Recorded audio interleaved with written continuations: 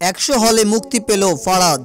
ঢাকার হোলি আর্টিজিনের সন্ত্রাসী হামলার ঘটনা নিয়ে হিন্দি সিনেমা ফারাজ বানিয়েছেন হংসল মেহতা। আজ ভারত জুড়ে একশো প্যাক্কা গিয়ে মুক্তি পেয়েছে সিনেমাটি। এর আগে গতকাল দিল্লি হাইকোর্টের ছবিটির মুক্তি স্থগতি চেয়ে কারা আবেদন বাতিল করে দেয়? ফারাজের প্রযোজক আরেক বলিউড নির্মাতা অনুভব সিনহা।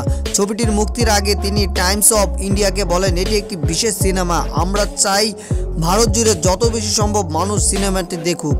ছবিটি দেখতে দর্শককে আহ্বান জানিয়ে তিনি বলেন, ফারাজ এমন একটি গল্প যা বড় পর্দায় উপভোগ করতে হবে। আমরা চেয়েছি নির্বাচিত হলগুলোতে ছবিটি জাঁকজমকভাবে মুক্তি দিতে।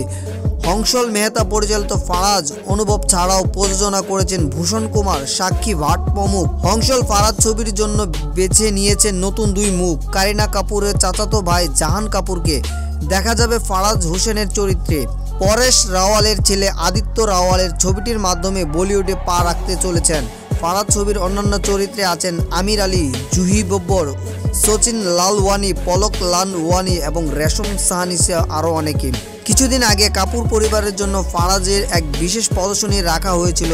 এদিন কাপুর খানদান থেকে কারিনা, নিতু কাপুর, রণবীর কাপুর, সাইফ আলী খান, আলিয়া, জাহানের বাবা কুনাল কাপুর আর মা সিনা সিপ্পি সহ অনেকেই উপস্থিত ছিলেন। ফারাজের চরিত্রে জাহান সবার হৃদয় জুড়ে চলে গেছেন। এদিকে কাপুর পরিবারের রীতিমতো আবেগে ভেসেছিল। আমাদের এই প্রতিবেদনটি আপনাদের কাছে কেমন লাগল তা কমেন্টের মাধ্যমে জানাবেন।